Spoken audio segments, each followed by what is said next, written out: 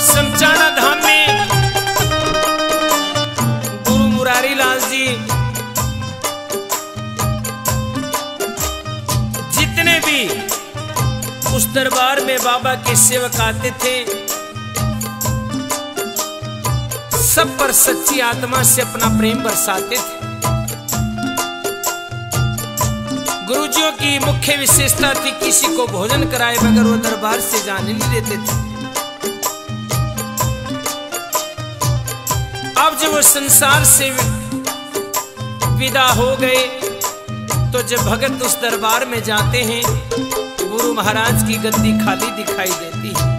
आँखों से आँसू गिरते हैं और दिल के भाव प्रकट करते हैं, कैसे?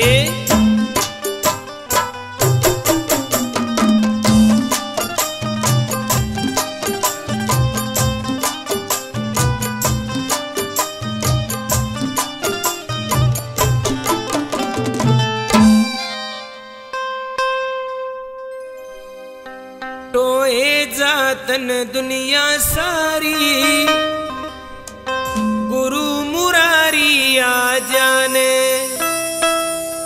सुना दाम पड़ा समझाना, एक बे झलक दिखा जाने। टोए